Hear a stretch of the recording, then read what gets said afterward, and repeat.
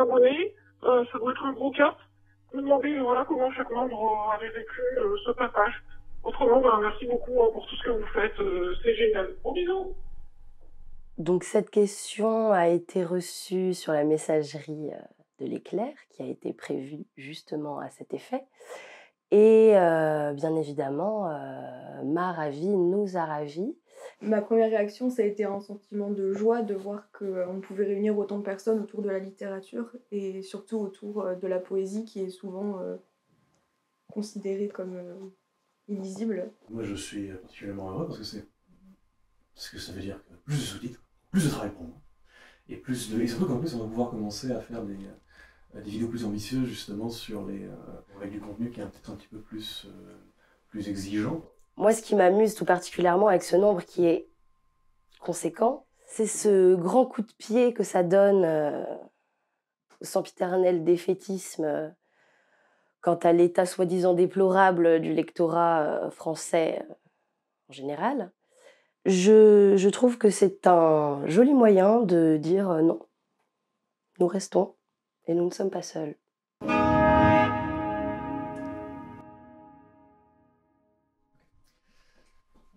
Prochaine question euh, collective, c'est une question qui m'a été euh, posée dans le cadre d'un échange avec la poétesse Louise Blue.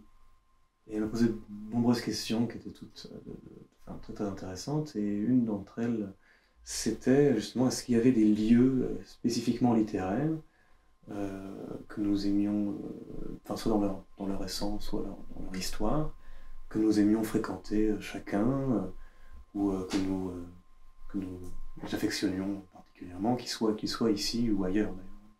Ma réponse euh, immédiate euh, à c'est un lieu qui s'appelle les Jardins euh, de Beaumarzeau. c'est un lieu qui est très très étrange, qui a été en fait construit comme une sorte de, lieu de plaisance, de promenade, par un condottière de la famille des Orsini. On l'appelle aussi le parc des monstres parce qu'en fait, c'est un lieu qui est une sorte de plein milieu d'une sorte de, de, forêt en fait, et qui est, euh, et qui est rempli en fait de, statues euh, et, de, euh, et de, lieux, espèces de pseudo-temples antiques, etc., qui sont tous en fait inspirés directement de, de, poèmes mythologiques. et c'est c'est un des lieux où on peut vivre en fait ces, toutes ces, ces, ces, ces récits littéraires un peu dans sa chair. c'est vrai que c'est comme euh, le littéraire, je pense que c'est, J'ai la chance d'habiter euh, près de, de Becherel en Bretagne, qui est une cité du livre, ce qui signifie qu'il y a environ 15 euh, librairies dans un petit village de Bretagne. Et, et toutes ces librairies proposent des, des, des, des, livres différents, souvent des, livres anciens. Donc ça permet de découvrir énormément d'auteurs avec une grande place accordée à la poésie, donc ça, ça fait vraiment euh, énormément plaisir. Et, euh, et dans certaines de ces librairies, il y a des chats parfois qui se, qui se baladent entre les rayons, donc que demander de plus? Eh Je ne verse pas du tout dans l'originalité, hein, puisque le premier quartier qui me vient à l'esprit, c'est le quartier latin. J'ai quand même une euh, une, relation particulière avec ce quartier parce que euh, c'est notamment ce quartier-là que j'ai sillonné en long, en large et en travers quand j'ai emménagé à Paris seule. Et euh, j'ai trouvé, euh, trouvé quand même une forme de repère euh, dans ce quartier-là. Alors évidemment, il agit comme un phare, ce quartier. Il, il, traverse l'histoire littéraire quasiment du Moyen Âge jusqu'à nos jours. Rilke a vécu rue Victor Cousin. Il semblerait que Charles Pékin n'ait pas vécu beaucoup plus loin. Euh, forcément, euh, par affinité particulière pour le grand homme que fut Ernest Hemingway, je suis aussi attachée à la rue du Cardinal Lemoine, à la place de la Contrescarpe, qui était un quartier qu'il aimait énormément. Il, il aimait énormément le boulevard Saint-Michel. Certes, le quartier latin, c'est le quartier littéraire par excellence, en tout cas en France. Mais euh, je pense que la lecture qu'on fait euh, de tous les grands noms qui ont vécu ou aimé ce quartier le rend unique pour chaque personne qui choisit de le sillonner. Et en cela, euh, j'y suis vraiment très très attachée et c'est un, c'est un quartier que j'aime beaucoup parcourir et dont je ne me lasse absolument pas. La question suivante nous a été posée par euh, Mathias Bourdelier, lui-même auteur de bande dessinée et illustrateur. Quel poète a le plus touché et ému chaque membre de l'équipe et pourquoi? Je crois que le poète qui m'a le, qui pour moi était le plus cathartique en tout cas, c'est plutôt T.S. Eliot, je, crois. Ce que j'aime bien, en plus, c'est que T.S. Eliot, il il fait toujours, la, même chose, mais il fait, mais il progresse. c'est qu'il y a une vraie progression de proof rock euh, jusqu'aux zones creux en fait. Et justement, en fait, tous les grands poèmes de, Eliot sont la continuation les, uns des autres, et je trouve que justement, il y a une sorte de.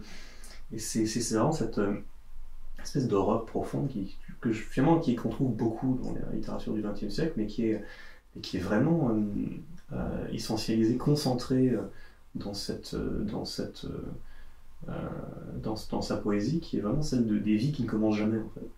Des, cases départ qui, finissent par simplement être des, des prisons. Il y a une sorte de. Et forcément, il des. N'est pas le seul à, parler de ça. Il y a forcément aussi beaucoup de, gens à l'état de 20e siècle qui trouvent des échappatoires à ce, ce sentiment-là, mais je trouve qu'il y a en tout cas, une angoisse qui est allée euh, euh, croissant en fait. Euh, et je pense qu'au 21e siècle, qui, est quand même un siècle où justement on a tendance à, créer des, cocons pour absolument tout le monde et à, sécuriser l'expérience, etc. On est arrivé à un stade de pauvreté en fait de l'expérience individuelle. Je trouve que les gens qui justement sont aujourd'hui découvrent ce stade de, de, pauvreté de l'expérience, on trouve un berger intéressant en euh, T.S. Eliot. Donc euh, moi c'est Sylvia Plath.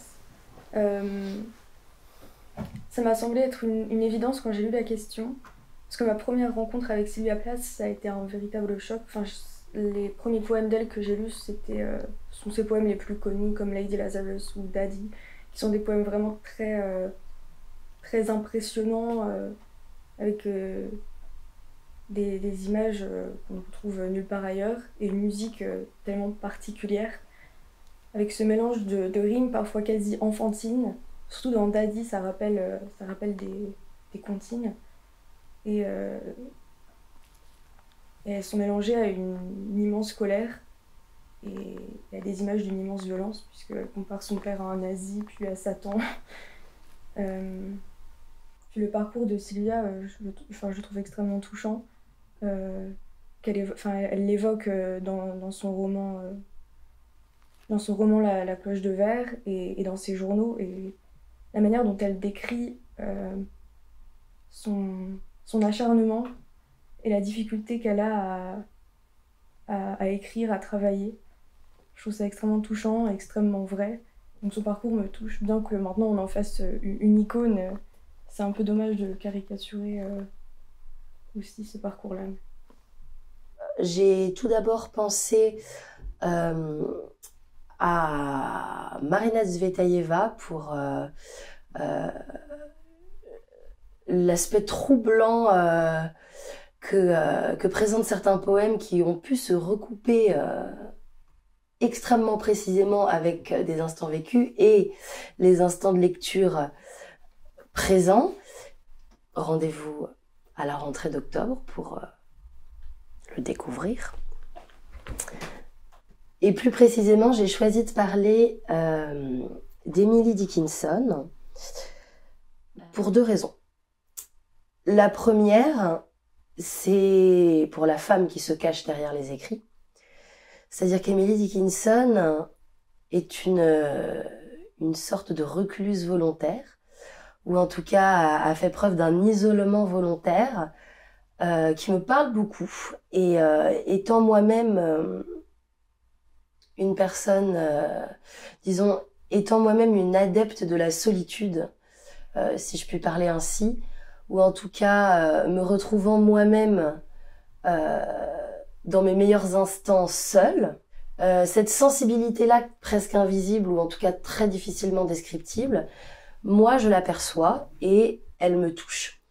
Dans un deuxième temps, il y a toute une imagerie dans la poésie de, Dickinson qui me plaît énormément, notamment euh, tous les aspects euh, végétaux, presque botaniques, qui parsèment euh, son œuvre, et des images presque naïves comme le papillon, la mouche ou l'abeille, qui prennent une dimension toute particulière, qui lui est vraiment propre et qu'elle qu'elle parvient presque à rendre mystique. Et ça, c'est c'est un, un regard sur sur le monde qui nous est extrêmement proche et qu'on ne considère pas forcément à ce point et euh, elle est une des rares voix poétiques qui je trouve euh, jette un regard sur la nature environnante, sur la nature proche, euh, très pointue, très très intime, très sensible, très personnelle, alors qu'on va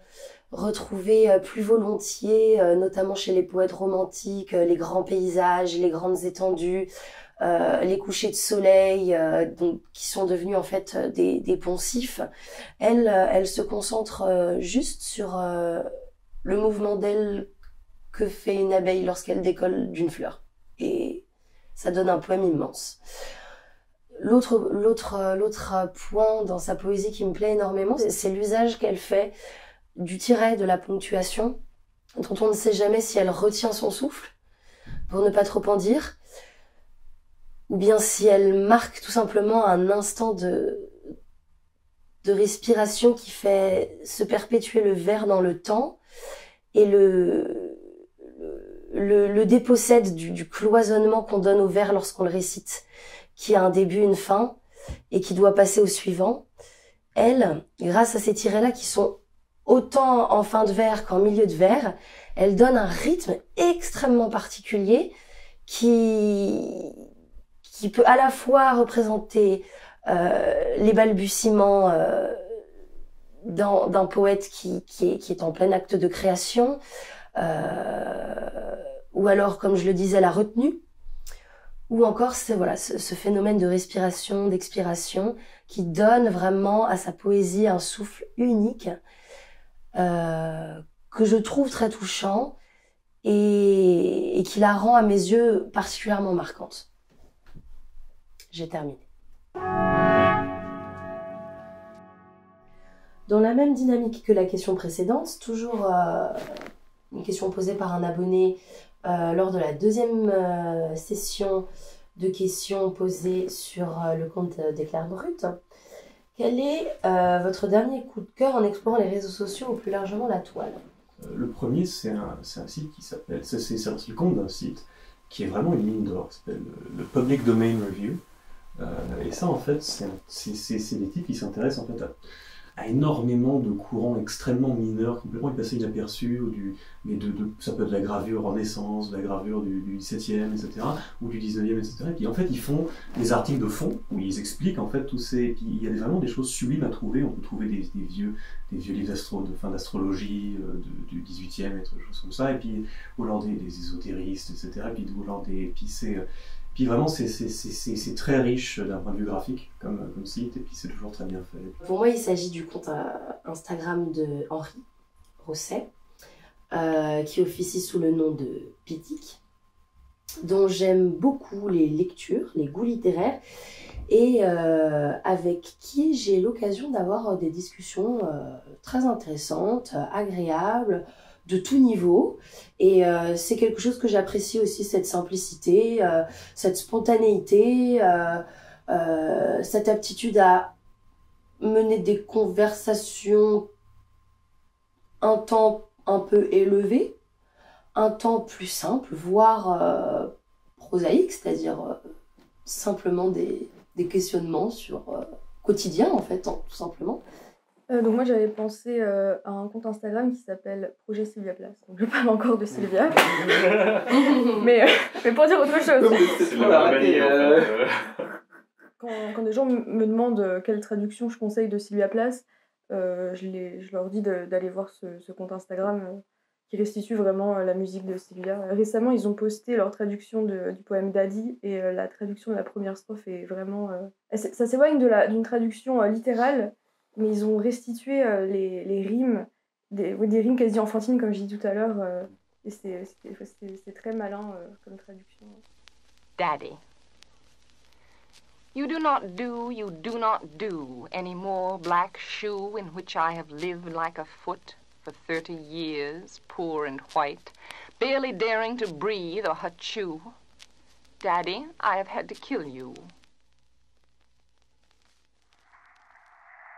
Quel a été votre dernier coup de cœur en explorant les réseaux sociaux ou plus largement la toile Je suis avec attention sur Instagram l'activité d'Irène de Balacho, une poétesse et éditrice aux éditions Complicité, qui a créé le site Anthologia Blog. Elle m'a récemment fait découvrir Rumination, prose d'un solitaire, de Maurice Rollina, réédité aux éditions du 28 octobre. C'est un livre qui m'est devenu très cher. Alors, cette question est une rengaine interrogative, une sorte de refrain perpétuel euh, qui revient sans cesse par quel livre commencer la poésie? Je pense que le, sommet poétique le plus accessible, dirons-nous, ça reste Les Fleurs du Mal euh, de, de Baudelaire. Je, pense que c'est un, recueil absolument gigantesque, euh, d'une beauté inouïe, euh, qui, qui, qui, qui n'a de cesse de, de, fasciner. Et les, les adolescents aiment profondément Baudelaire. Je dirais même que les adolescents lisent peut-être de la poésie grâce à Baudelaire. La flamme de son verbe ne, ne, ne tarit pas.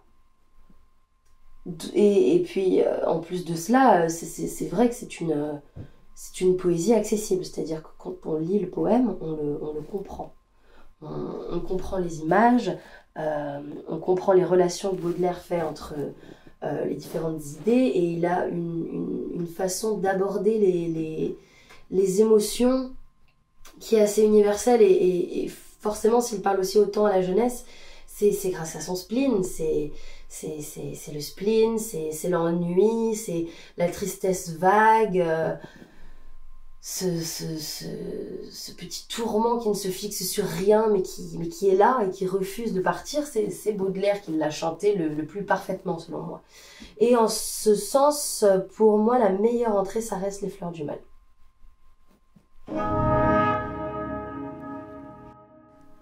Alors, cette question a été posée par un abonné sur Instagram lors du deuxième appel à questions.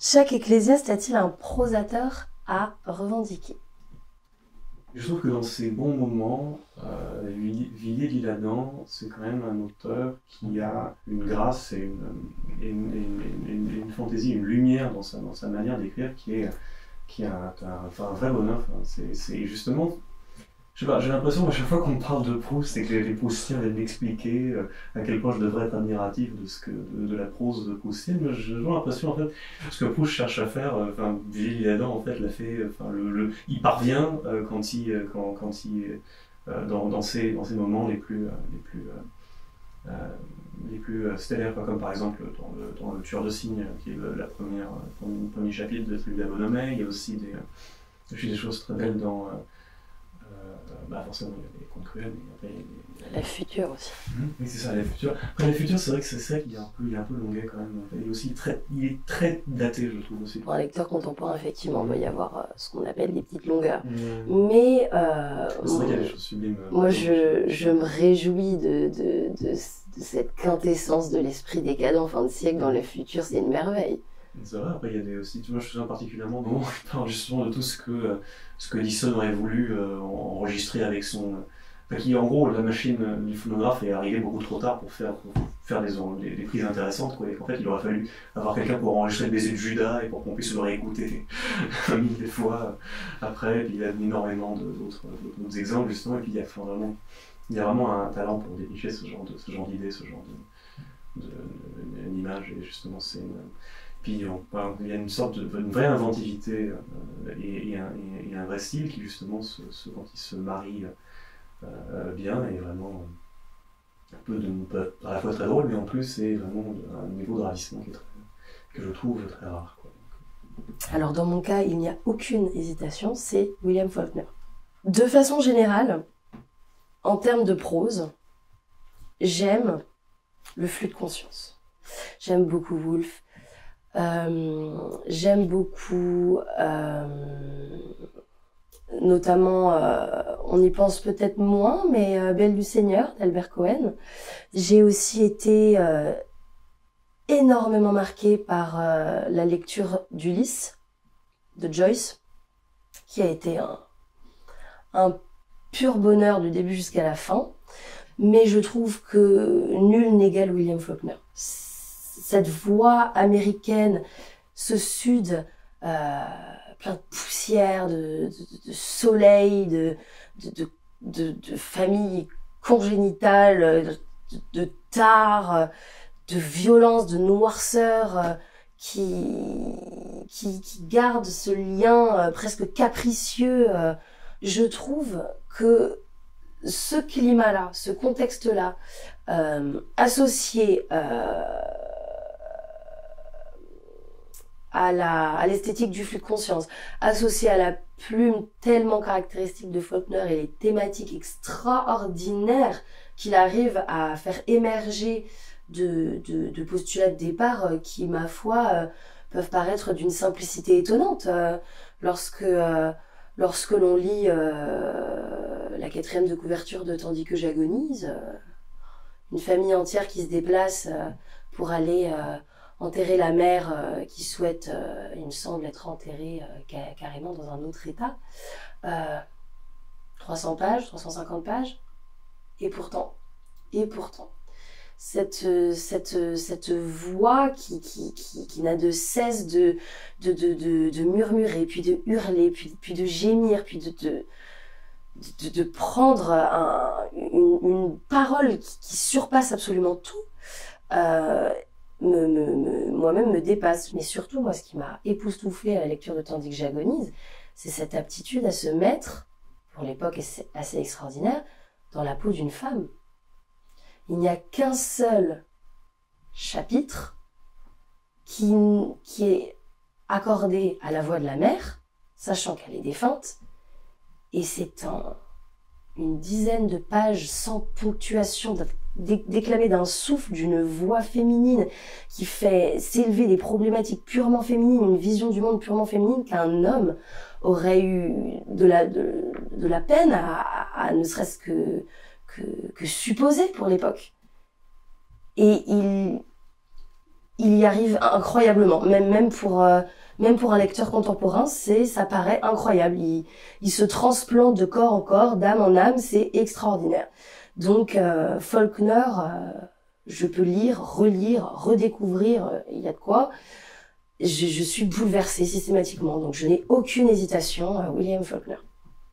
Proust a été vraiment une révélation. Désolée,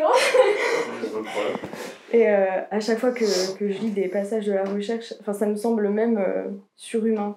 Je me demande comment c'est possible. Tout est, tout est aussi. Il n'y a pas un, passage moins intense que l'autre. Et même, on peut, ouvrir la recherche comme un recueil de poèmes et lire n'importe quel passage. C'est tellement précis qu'on ne s'y perd pas. Et je, ne comprends vraiment pas les gens qui s'ennuient en lisant Proust parce que moi, vraiment, c'est des descriptions qui sont tellement belles que, que ça me produit euh, la même exaltation que quand je lis des poèmes, finalement. Moi, c'est toujours les idées chez Proust qui me plaisent. En fait, j'aime bien justement son rapport un peu. Je pense qu'il préfigure un petit peu la phénoménologie dans, ses, dans, sa manière d'aborder un peu la psychologie de ses personnages. En fait, c'est surtout ça qui m'intéresse chez Proust. Mais c'est vrai que moi, j'ai compris. Je m'ennuie horriblement en lisant Proust. J'ai l'impression que ça se passe souvent comme ça. Hein. Hmm. Soit on a un coup de foudre absolu, soit euh, quelque chose euh, surgit en tapinois et euh, il faut que il faut quelques années. J'ai commencé à lire pendant le confinement donc hmm, c'était vraiment parfait. Jamais retrouvé la même intensité hmm. après. Ah oui, ça me met dans un coucou en fait. Et je sais pas, j'ai l'impression que si tu, il faut, faut, quand même quand si on veut être. Moi, j'ai absolument aucun problème avec le, fait d'avoir des, des, des, narrations complètement outrées, avec des, des sentiments, des émotions extrêmement exacerbées. Hein. À toutes, les lignes, mais, mais, justement, je, pense justement il faut quand même trouver une, une image qui soit quand même un minimum, je sais pas, qui, qui, est sa, sève propre. Quoi, qui soit... J'ai l'impression qu'en fait, dans le coup, c'est vraiment le, le c'est un truc qui me gêne parce que c'est vraiment, on est dans, enfin surtout dans Combref, on est vraiment dans l'outré en permanence. Et, euh, et mais, en fait, il y a des, images inédites, il n'y en a, genre, aucune en fait. On a, fait, on a traité une, mais, ça fait comme, mais comme il en met 15 à, au paragraphe, elle est bah noyée ça, en fait dans le. Ah, oui, profondément mais... dans le détail de ça. Voilà, moi, je, je, je, re, je, je, te rejoins plutôt sur ce, sur ce point-là. C'est-à-dire que je, je, je vois pas tellement le génie de style. Je comprends que peut-être que je ne suis pas sensible à, à, à, ce travail-là. Par contre, ce que je reconnais vraiment chez Proust, et c'est là où euh, je reste humble et en retrait aussi, quand sur une page et demie, il va réussir à trouver le moindre mot, la moindre justement image sur le coup pour euh, nous, faire comment, expliquer ça? Pour faire comprendre à son lecteur qu'il a tout compris sur tous les mécanismes euh, de, de l'émotion humaine, du sentiment. Et il, il, fait en fait, il fait apparaître, il surligne cette espèce de, de flux euh, qui circule entre chaque être. On parlait de panthéisme il y a, il y a, y a, y a peu, donc là on est un peu dans cette idée-là. Hein. Euh, il le surligne, ça, ça devient fluorescent, ça, clignote, c'est des néons. Et, et, il le fait incroyablement. Et là, il y a, vraiment une archéologie de la sensibilité, et ça, je trouve que c'est extraordinaire. Là, là, il me bluffe.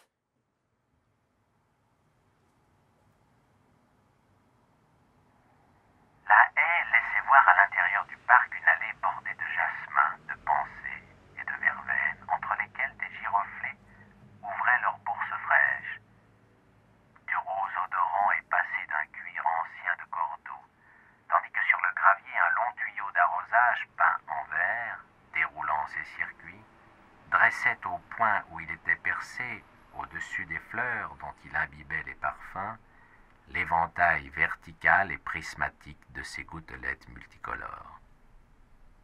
Tout à coup, je m'arrêtai. Je ne pus plus bouger. Comme il arrive quand une vision ne s'adresse pas seulement à nos regards, mais requiert des perceptions plus profondes et dispose de notre être tout entier. Une fillette d'un blond roux qui avait l'air de rentrer de promenade et tenait à la main une bêche de jardinage, nous regardait, levant son visage semé de taches roses. Ses yeux noirs brillaient, et comme je ne savais pas alors, ni ne l'ai appris depuis, réduire en ces éléments objectifs une impression forte, comme je n'avais pas, ainsi qu'on dit, assez d'esprit d'observation pour dégager la notion de leur couleur, pendant longtemps, chaque fois que je repensais à elle, le souvenir de leur éclat se présentait aussitôt à moi comme celui d'un vif azur puisqu'elle était blonde. De sorte que, peut-être si elle n'avait pas eu des yeux aussi noirs, ce qui frappait tant la première fois qu'on la voyait, je n'aurais pas été, comme je le fus, plus particulièrement amoureux en elle de ses yeux bleus. Ainsi passa près de moi ce nom de Gilberte, donné comme un talisman qui me permettrait peut-être de retrouver un jour celle dont il venait de faire une personne et qui l'instant d'avant n'était qu'une image incertaine.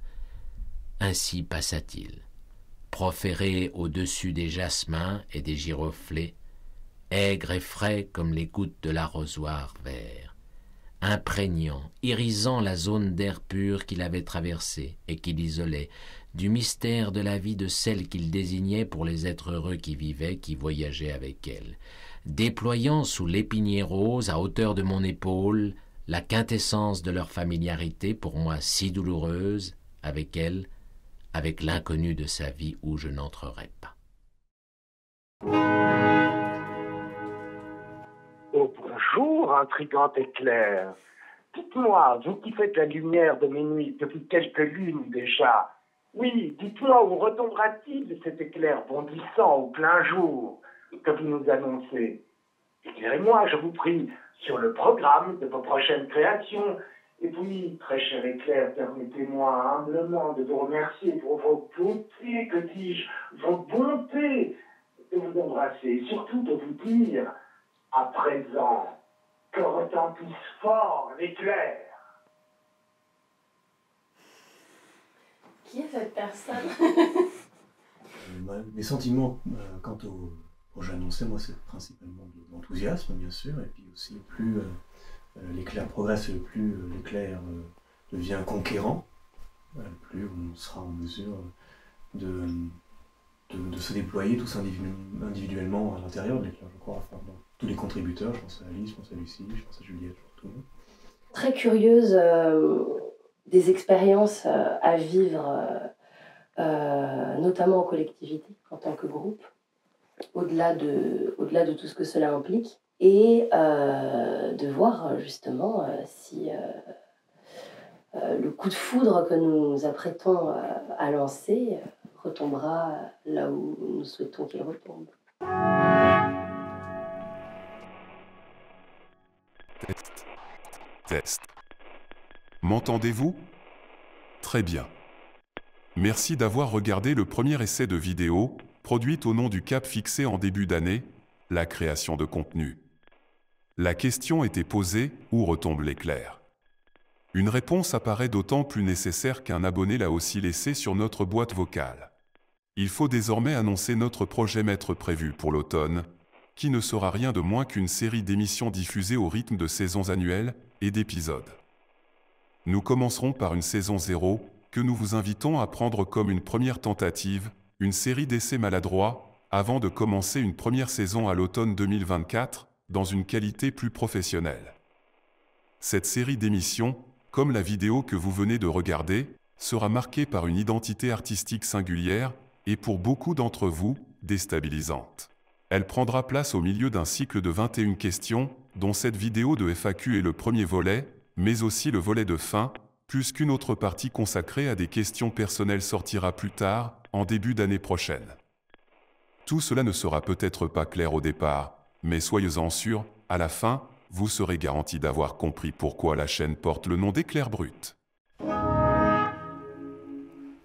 I just wanna chill and twist the light. Gas tanks in my 745. You drive me crazy, shorty. I need to see you and feel you next to me. I provide everything you need, and I like your smile. I don't wanna see you cry. Got some things that I gotta ask, and I hope you can come up with the answers, me, girl. It's easy to love me now. Would you love me if I was down and out? Would you still have love for me, girl? It's easy to love me now. Would you love me if I was down